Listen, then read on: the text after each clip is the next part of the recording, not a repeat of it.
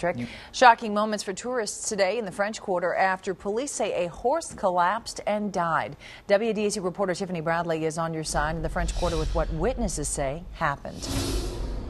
As you can see, the scene has been cleared here in the 700 block of Bourbon. This is where the horse collapsed and died.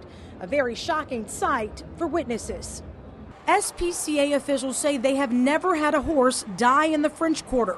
But that's the call they got around 2 p.m. today. They say the private owner of the animal told them he was taking three of his horses for a stroll through the French Quarter when one of them collapsed. They say the owner pulled the horse up and started walking him, but the horse fell again and died. Firefighters blocked the street while a towing company hauled the horse away. SPCA says there were no obvious signs of injuries to the horse's body, but some witnesses questioned if the animal was mistreated. It was very skinny. It looked like it wasn't well fed whatsoever. Um, you could definitely see its ribs.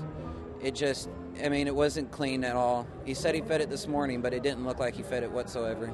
SPCA officials say they will investigate the horse's death, and they say if they determine that the horse was mistreated, they will take further actions against the owner. On your side in the French Quarter, Tiffany Bradley, WDSU News. SPCA officials say an equine veterinarian will be called tomorrow to find out the cause of the horse's death and if it was related to any possible animal cruelty.